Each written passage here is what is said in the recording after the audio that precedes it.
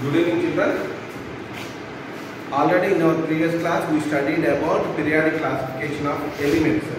In this session we are going to study about to write the period, group, subgroup and block of an element. How to identify group, subgroup and block and period of an element. I will tell you a simple technique to identify group and subgroup and period.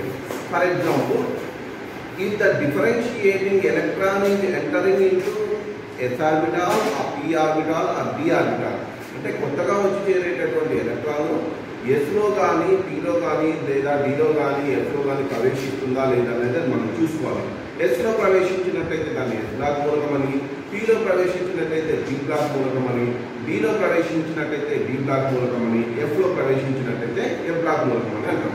అదేవిధంగా period తెలుసుకోవడానికి electron విన్యాసము రాసిన తర్వాత highest number of the principal quantum number principal quantum number ఏది ఎక్కువగా ఉన్నదో చూసుకోవాలి.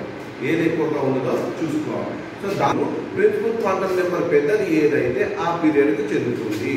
Okay ఉదాహరణకి ఎన్ ఈక్వల్ త్రీ అని వచ్చింది. ఒక ఎలక్ట్రాన్ విన్యాసం రాసినప్పుడు. కాబట్టి అది మూడో పీరియడ్ లేదా ఒక ఎన్ ఈక్వల్ ఫోర్ అని వచ్చింది. అది నాలుగో పీరియడ్ ఇప్పుడు మీకు కొన్ని ఉదాహరణల ద్వారా దాన్ని నేను వివరించడానికి ప్రయత్నం చేస్తాను. ఓకేనా? అదేవిధంగా సబ్ గ్రూప్ చేసేటప్పుడు ఏ గ్రూపా లేకపోతే బి గ్రూప్ అనేది? అది ఏ గ్రూప్ మూలకమా? బి గ్రూప్ మూలకమా అంటే ఇచ్చిన గ్రూప్లో ఏ చెందుతుందా? ఏ సబ్ గ్రూప్ చెందుతుందా? బి సబ్ గ్రూప్ చెందుతుందా అనేది తెలుసుకోవాలంటే మనం కొత్తగా వచ్చి చేరేటటువంటి ఎలక్ట్రాన్ ఎస్లో కానీ లేదా పీలో కానీ చేరినట్టయితే అది ఆ గ్రూప్కు సంబంధించి ఏ గ్రూప్కు చెందుతుంది? అలా కాకుండా బీకి కానీ ఎఫ్ కానీ ప్రవేశించినట్టయితే కొత్తగా వచ్చి చేరేటటువంటి ఎలక్ట్రాన్ బి ఆర్బిటాల్లోకి కానీ లేకపోతే ఎఫ్ ఆర్బిటాల్లోకి ప్రవేశించినట్టయితే అది బి సబ్ గ్రూప్కు చెందుతుంది. ఇవి గుర్తుపెట్టుకొని ఈ చిన్న ఉదాహరణలు మనం బాగా గమనించినట్లయితే ప్రాక్టీస్ చేసినట్లయితే మనం ఏ మూలకం ఇచ్చినా కూడా అది ఏ గ్రూప్కి చెందుతుంది ఏ పీరియడ్కి చెందుతుంది ఏ బ్లాక్కి చెందుతుంది అనేది ఈజీగా చెప్పేవచ్చు ఇక్కడ మీకు కొన్ని ఉదాహరణలు వివరించడానికి ప్రయత్నం చేస్తాను. ఇక్కడ చూడండి. పొటాషియం. పరమాణు సంఖ్య పంతొమ్మిది atomic number of potassium is nineteen దాని ఎలక్ట్రాన్ విన్యాసం మనం ఈ విధంగా రాస్తాం. One S two two S two two three six three S two three P five four S కాబట్టి కొత్తగా వచ్చి చేరేటటువంటి ఎలక్ట్రాన్లు ఎన్ ఆర్బిటాల్లోకి ప్రవేశిస్తుంది.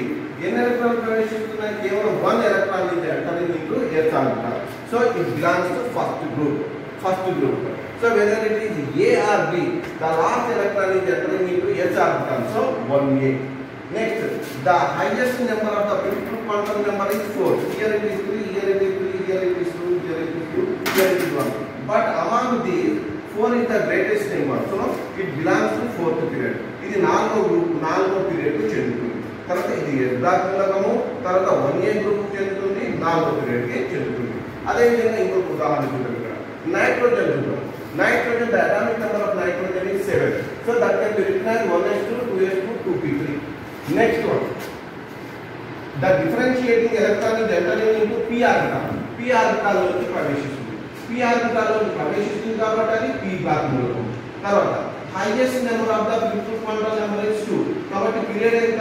రెండు. కాబట్టి ప్రధాన క్వాంటల్ సంఖ్య యొక్క అతి పెద్ద సంఖ్య ఏంటంటే రెండు. కాబట్టి ఇక్కడ ఎంత ఇది రెండో పీరియడ్ చెందుతుంది మరి అదే విధంగా ఇప్పుడు మనకి డిఫరెన్షియేటింగ్ ఎలక్ట్రాన్ ఏమో ఇక్కడ పిఆర్బిటాల్లో ప్రవేశిస్తుంది.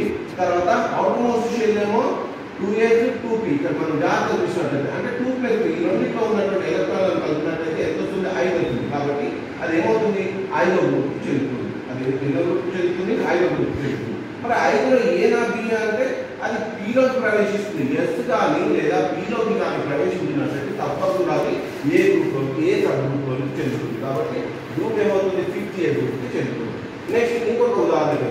ఇక్కడ మనం జాగ్రత్తగా గమనించినట్లయితే ద డిఫరెన్షియేటింగ్ ఎలక్ట్రాన్ ఈ entering into d or f డిలో కానీ లేకపోతే ఎఫ్లో కానీ ప్రవేశించినప్పుడు మనం ఈ గ్రూప్ నిర్ధారించిన తర్వాత సబ్ గ్రూప్ ఏమవుతుంది బీకి చెందుతుంది. ఉదాహరణ ఇక్కడ ఉదాహరణ చెప్తున్నప్పుడు క్రోమియం పరమాణు సంఖ్య ఎంత? ఇరవై నాలుగు. One s two two s two two p six three s two three p six four s two three d four అని రాస్తాం. కానీ మనం ఏం చేస్తున్నాం? ఆఫిల్ ఆఫిల్ ఆర్బిటాల్స్ సగమని ఉన్నటువంటి ఆర్బిటాలకు అధిక శక్తి ఉంటుంది కాబట్టి స్థిరత్వం ఎక్కువ ఉంటుంది కాబట్టి ఈ ఉండేటువంటి రెండు ఎలక్ట్రాన్లు ఒక ఎలక్ట్రాన్ ఏమవుతుంది?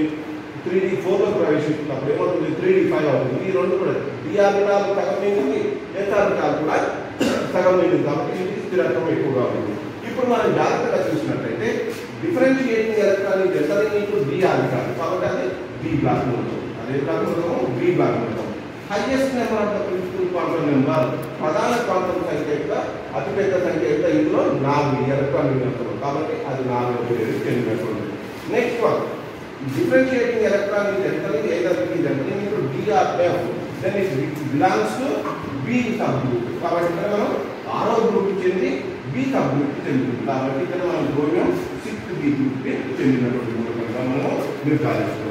ఈ విధంగా సులభ పద్ధతిలో సులభమైనటువంటి టెక్నిక్స్ ద్వారా మనం ఇంకొన్ని మనం మూలకాలను తీసుకొని వాటి యొక్క ఎలక్ట్రాన్ విన్యాసాన్ని రాసి తర్వాత చివరగా వచ్చి చేరేటటువంటి ఎలక్ట్రాన్ ఏంటి తర్వాత రాసిన తర్వాత ఎలక్ట్రాన్ విషయం ఎలక్ట్రాన్ విన్యాసంలో అతిపెద్ద క్వాంటం సంఖ్య ఏది అని మనం తెలుసుకున్నట్టయితే ఏ గ్రూప్కు చెందుతుంది ఏ బ్లాక్కు చెందుతుంది ఏ సబ్ గ్రూప్కు చెందుతుంది అనేది మనం ఈజీగా తెలుసుకోవచ్చు. Thank you children please like and subscribe my channel. Thank you